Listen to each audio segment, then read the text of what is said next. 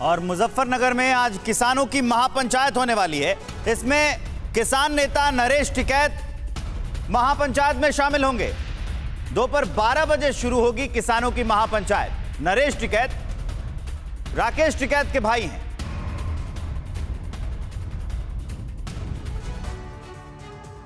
भारतीय किसान यूनियन के दो फाड़ होने के बाद पहली बार आज मुजफ्फरनगर के काकड़ा गाँव में किसानों की महापंचायत होनी है।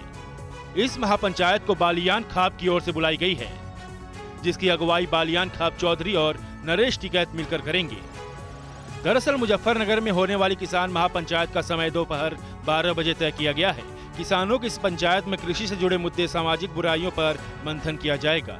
किसानों की इस महापंचायत में कुंडिया खाप अहलावत खाप लाटियन खाप जैसे कई संगठनों को बुलाया गया है। दावा किया जा रहा है कि मुजफ्फरनगर के अलावा दूसरे जिलों के किसान भी इस मीटिंग में शामिल होंगे।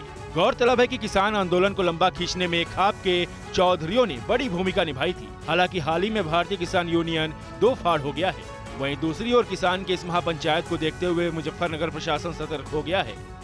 माना जा रहा है कि पंचायत में किन किन मुद्दों पर चर्चा होगी, उस पर भी प्रशासन की कड़ी निगाह है।